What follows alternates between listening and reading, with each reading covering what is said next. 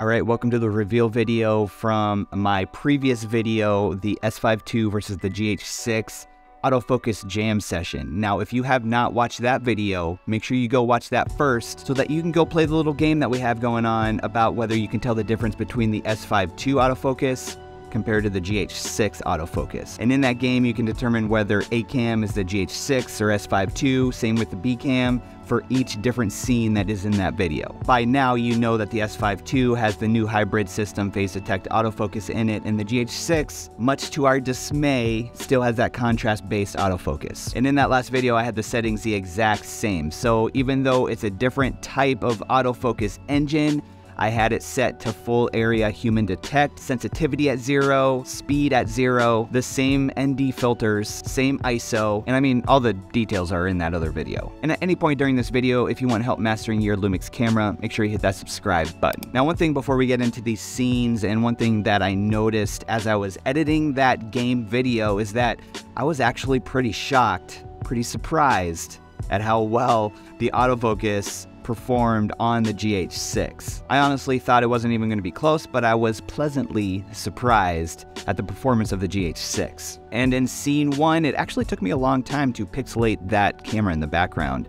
But A cam in this scene is the GH6, and the B cam is the S5 II. Then on scene two, I just wanted this whip up to kind of get that effect and see if it locks on pretty quick. Now between A cam and B cam, they both latched on pretty pretty quick and I think this kind of sets the stage for the rest of the video. One of the things that I noticed, even though they locked on, the GH6 was just a little bit softer than I was hoping. The S5 II is a much sharper lock on.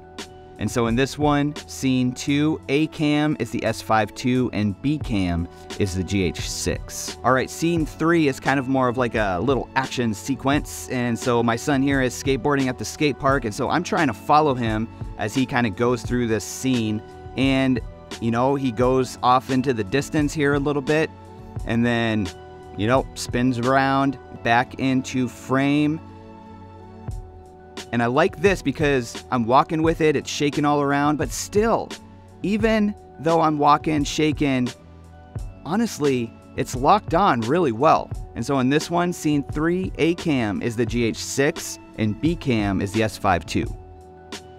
Now in scene 4, my wife is such a trooper. She's having so much fun on this slide. But this one, I kind of like walk around a little bit kind of get her on the slide. It's a little bit from a distance, not super close up. She's moving around quite a bit. In scene four, the A cam is the GH6 and the B cam is the S5 II.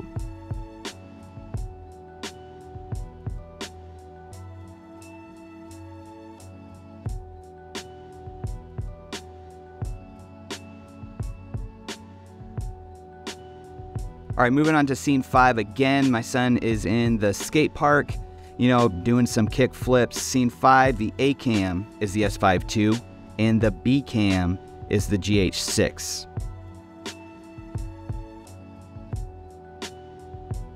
Now remember, this is not a color test. This isn't a, you know, stabilization test. This is strictly an autofocus test. So here, my other son is using the S5 to take pictures. I'm so proud of him for getting into photography. And this one, I'm moving around. You know, he has a camera in his face a little bit. And I think this is kind of where you see some of that contrast base GH6 autofocus not latch on the best. It's still a little soft, but in scene 6, the S5 II is A cam and the GH6 is B cam. And in both cases, that autofocus really fought through, you know, him having the camera in front of his face. And the GH6, even in this situation, is really manageable.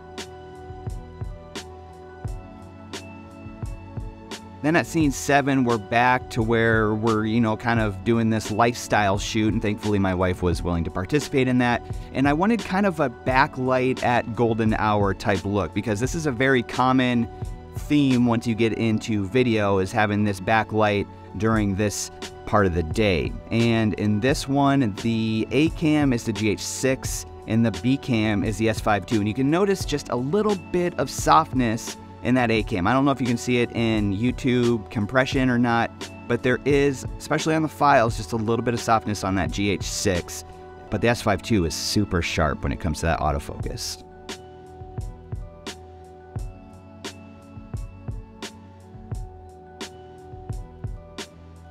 Now this is still scene seven and the sun now is on her face. I'm just doing kind of like a side view and even in this case, you know, it's just a little bit soft on that GH6, that A cam. But still, I'm super impressed with how it performs in these situations.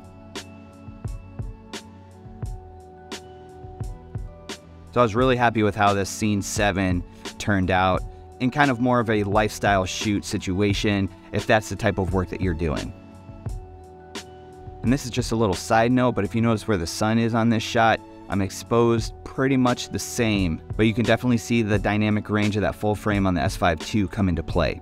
The sun is a lot more blown out on that GH6. I know this isn't a color test, it's not a sensor test or anything like that. It's just an observation. Just something to consider if you're looking at these two cameras. All right, now on scene eight, this is really where the autofocus determines itself. And if you didn't get this one, then you weren't paying close enough attention. You can really tell on this scene which is the GH6 and which is the S5 II.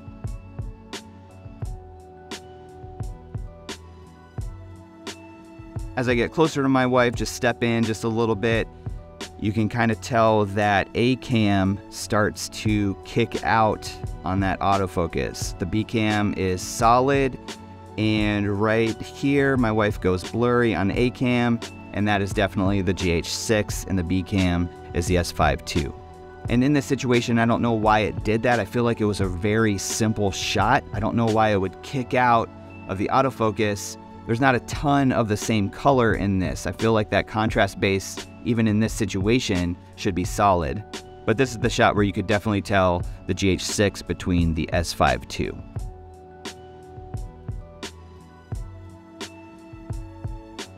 Well, there you have it. Shot secrets are revealed S5 II versus the GH6 autofocus. And like I said in my previous video where you went and played the game, this was not trying to prove anything. I'm not trying to say one camera is better over the other. They're both amazing cameras. They might be used in different situations, but they are incredible cameras and you cannot go wrong with either one. But if there's anything that you noticed in this video that kind of caught your eye, whether it was autofocus related or not, maybe it was stabilization, whatever it was, let me know down in the comments and we can get a conversation started down there. Now in this video that's popping up right here, I've got all of my video settings for the S5 II. So if you were wondering how I set up my camera, my S5 II, to shoot video, just go to that video, copy all my settings. You'll be good to go for shooting video on the S5 II.